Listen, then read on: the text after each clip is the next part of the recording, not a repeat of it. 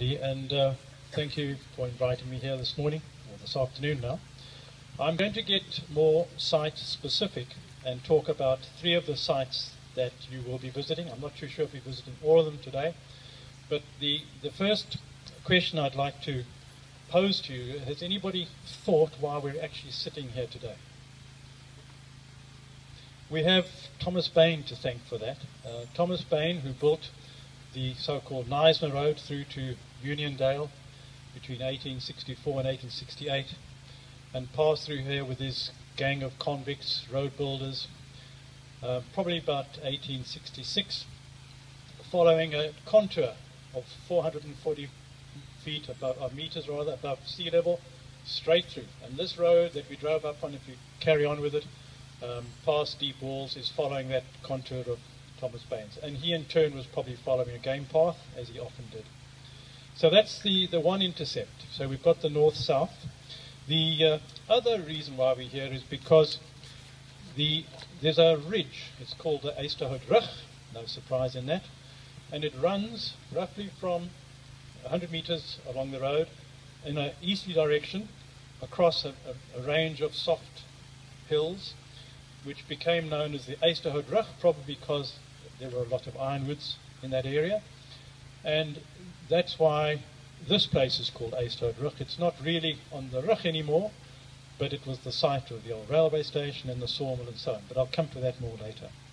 So we're really at the point where Baines came through in the, in the mid 1860s and where the Ysterhout Rug became important to the foresters of the 1880s. In 1880, um, a chap by the name of Mederick de Vasselot was appointed as the chief of, uh, sorry, superintendent of woods and forests for the Cape Colony, and he promptly started recruiting professional foresters to help him manage the forests. Up until then, the forests hadn't been well, well managed. They were conservators. There were rangers, forest rangers, but things got a bit out of hand with the woodcutters.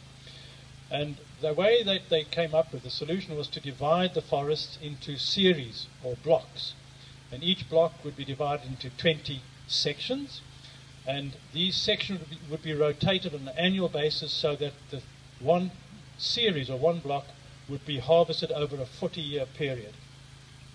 And these were typically, I'll convert to acres or hectares, 20 to 45 hectares a section, so the blocks were quite big.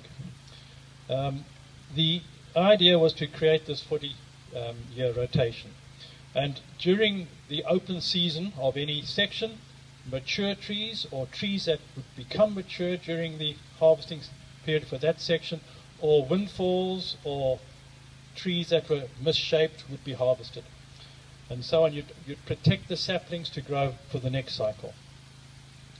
In 1886, a very crude forest cottage existed here. I'm not exactly sure where. We think it would, would have been up at it was known as the Deep Wall Forestry Cottage. In those days, it was known as Deep Wall, not Deep Walla or Deep Walls. Um, and it was probably up near Elandkop, um, which is now known as Rabbits Elandkop, but we'll come to that later. I've spoken about the ridge. Now, what the, the ridge did, it divided the Petrus Brand River. I think most of you know where Petrus Brand cycle road is, or cycle path. It's behind us, or behind me but you've got the river flowing in a direction which comes into the Bitou River. So the, this river, the Petrus-Brand River, flows into the Bitou and then comes down in Plettenberg Bay. And on the other side of the ridge, you've got the Deep Walls Loop, or which feeds into the uh, what is the river called?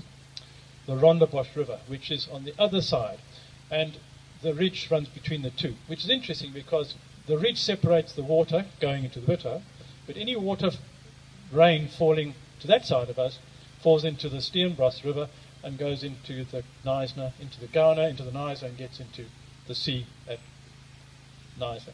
So this is a kind of a central point for us. Not only is it the center of the great forest, as it's called, but it's also a watershed.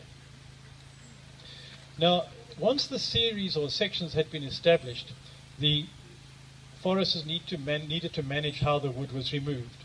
And they did this by um, surveying all the all the sections and pegging them with survey beacons so they knew where they were. And then they had to get, they allowed the woodcutters in to cut down selected trees, which were marked by the foresters. But the trouble was getting the trees out without damaging the rest of the forest. The saplings were particularly vulnerable. If you damage the saplings, you wouldn't have a harvest in 40 years' time. You'd have no big trees. So they needed to build slip paths. And they needed to build them quickly because at that time, this is now 18, 1890, they were harvesting timber about three kilometers from here along the Odebrand pot. Oh, it's not the Odebrand pot, the, uh, the Easthout pot. So a chap by the name of Carruthers, who was an agricultural immigrant. There were immigrants to this area, um, 1880 immigrants. They were called the agricultural immigrants. This chap was one of them, by the name of James Carruthers. He approached the forester in charge here, James Cooper, and said he was quite happy to build a sawmill at the end of that road, providing the forestry department built the road. And James Cooper, after a bit of uh, clever maneuvering and fancy dancing, tap work, he managed to put a, a low-cost road in, which is now known as the Ysterhout and that uh, took the forest, the, the access to the forest, three kilometers along the line. They built a sawmill there. Um, I'm not too sure if Carruthers was representing a chap by the name of Henry Templeton, a Templeman, but um, he built the mill there.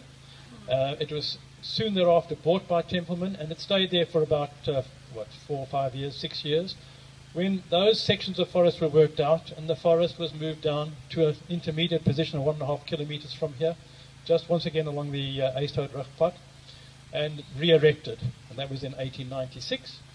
And uh, once again, as the sections were worked out of the forest, they built the sawmill, moved the sawmill, and put it up here. And that's why, if you do the site here, you'll be pointed to a site of a sawmill just across the road. Here there's a clearing and that was where there was a little village called Templeton, Templeman, and Templeman's cot, uh, sawmill was there as well, and a store. So this, this sawmill moved through the forest as the forest got harvested.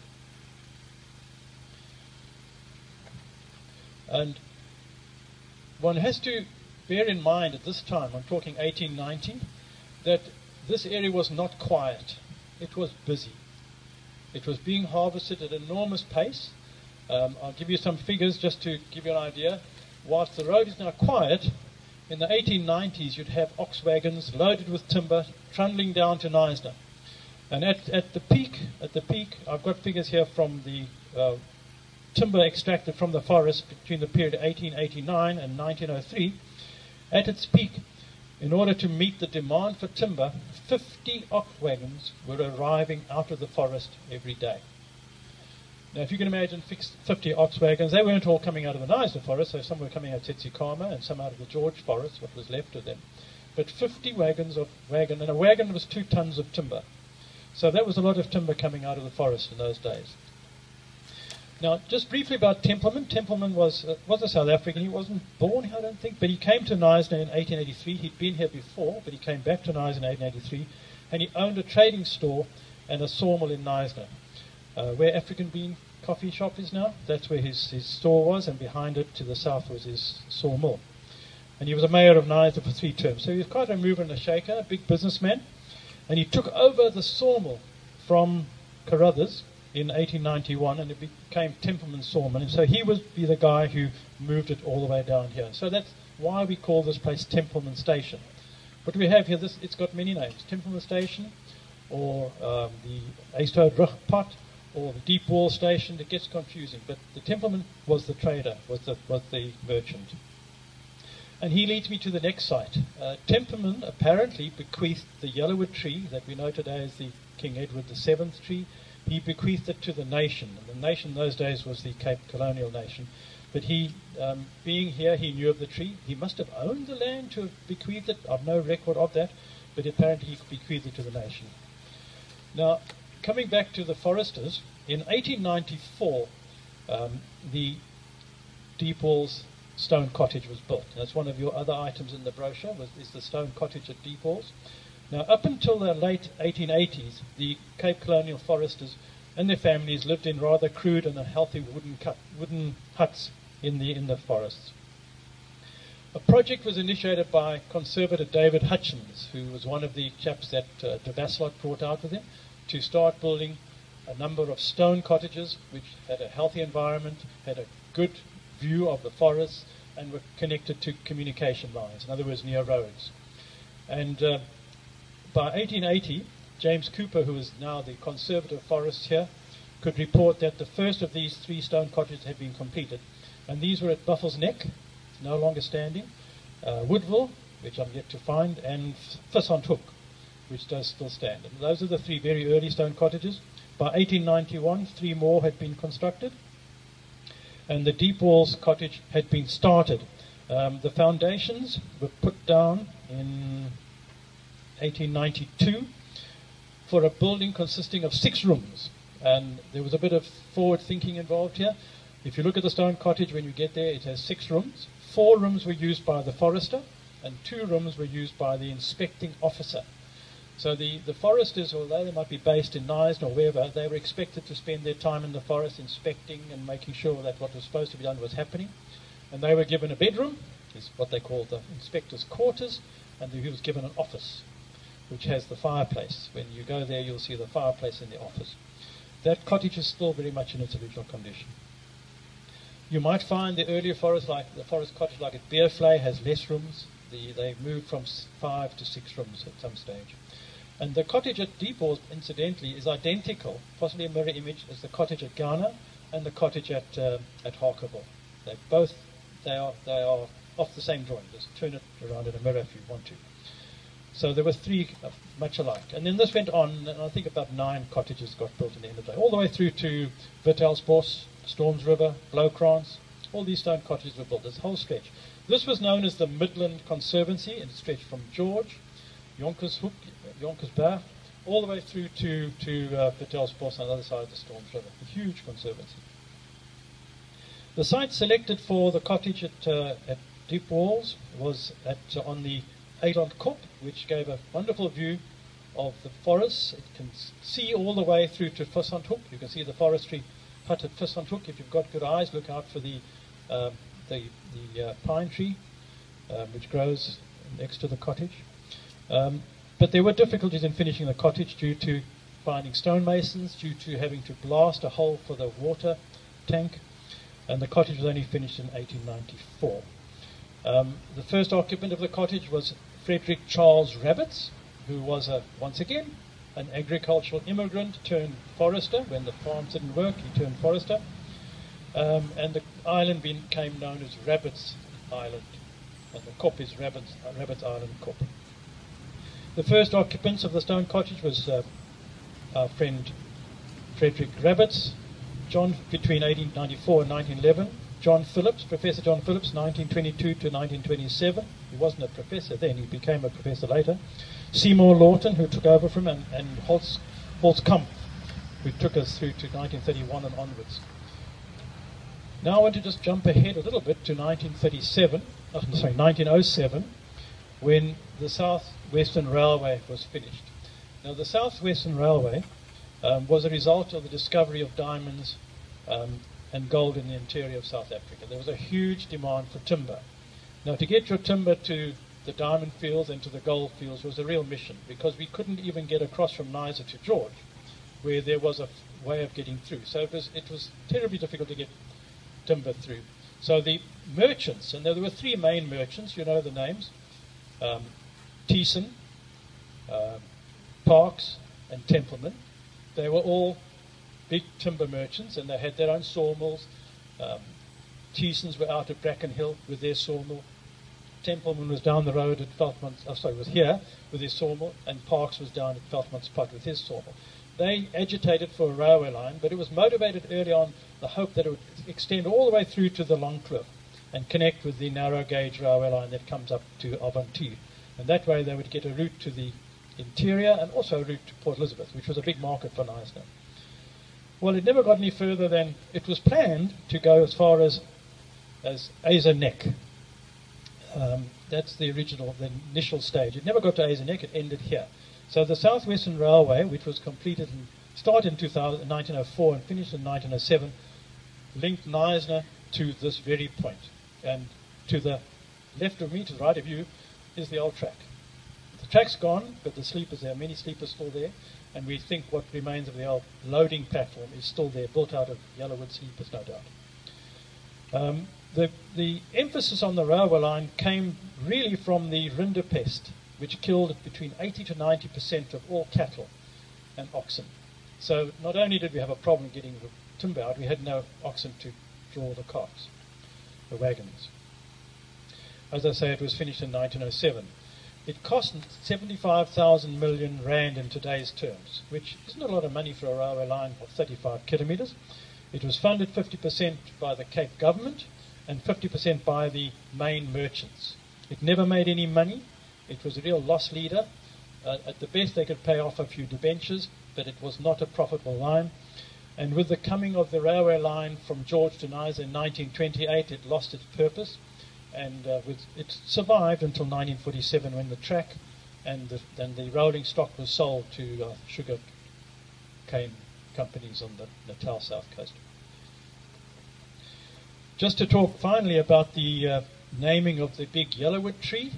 Um, the yellowwood tree, which you'll see, it's only a kilometre up the road, um, was named by a chap by the name of John Frederick Vickers Phillips. Now, John Phillips was born in Grahamstown and schooled in King Williamstown. He joined the forestry department and was based at King Williamstown, which was the centre of the Eastern Conservancy, as an apprentice forester. After four years of apprentice, he got a, a, a grant to go and study at the University of Edinburgh, where he did his BSc in forestry. He was appointed here as the first research officer based in Deeples and did an awful lot of work in, in, in the determining what was what's the best way to treat the forest. He was only here for five years, 1922 to 1927, and during the time he gathered a lot of information, which he then put forward as his doctorate. He was awarded a doctorate in in, uh, in forestry, and his his uh, research field was forest ecology, and he was the first person to receive such a doctorate, and he's one of the youngest South Africans ever to get a doctorate in science, not a PhD, but a doctorate in science. Um, he subsequently published an article on the ecological problems in the southern in the Knysna forests called "The Succession and Ecology in the Knysna Region." In 1924, the British Empire Colonial Association visited South Africa, and the then President John Smuts asked John Phillips to arrange for a function for these visitors. These were parliamentarians from all the corners of the British Commonwealth at the time, uh, parliamentarians, lawyers, whatever um, important people. Anyway, um, he did so. John Phillips arranged for a party of about 200 people sitting around the big tree, and he chose the big tree um, because it was on an elephant path. There were, I think, 16 elephants in the region at the day, and he got his rangers to ward them off while these people sat on sawn out logs and ate their, their meal. And he chose the big tree which he renamed the Edward VII tree, who was the King of England from 1901 to 1910. He named it after him because it was so regal.